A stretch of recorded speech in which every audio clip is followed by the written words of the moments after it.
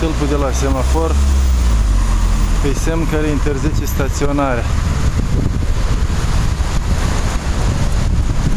Dar unii nu înțeleg în mod frecvent și parchează unde vor, chiar și în stații uneori.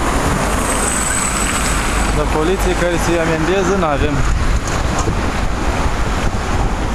Poliția e un fel de mafie cu epoleț care are altă ocupație.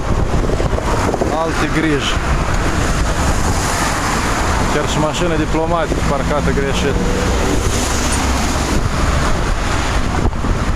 Și domnul Rega, ce faci? Eghe, ce fac? Filmez. Altceva nu mă pricep să fac. Că toți până aici stau cu mașina parcată ilegal. De la Metropolit Petru Movilă și până la Toma Ciorbă, la ambasada Rusiei, parcați ilegal.